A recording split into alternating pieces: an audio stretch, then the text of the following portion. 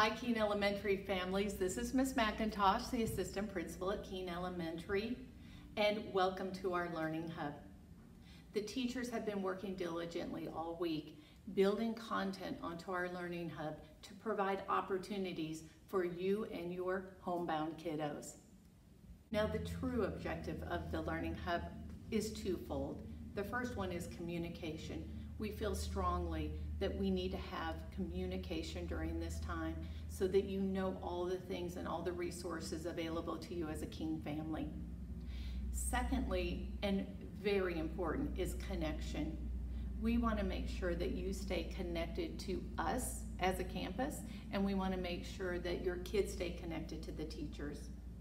The teachers have built content onto the hub, so we want them to connect to that also.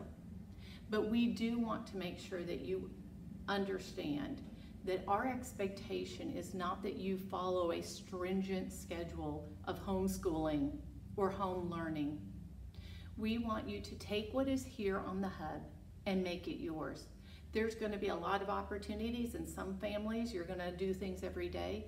There's some families that it's not going to work in your family system to do that, and that's okay. There is no pressure from us that you follow a rigid schedule. We just wanted to provide the resources and the opportunities, and you take them and you make them yours to meet your family needs. We miss our Keene families and we miss your kids, and we cannot wait till we can open the doors of Keene Elementary again and welcome our Keene Chargers. Stay well.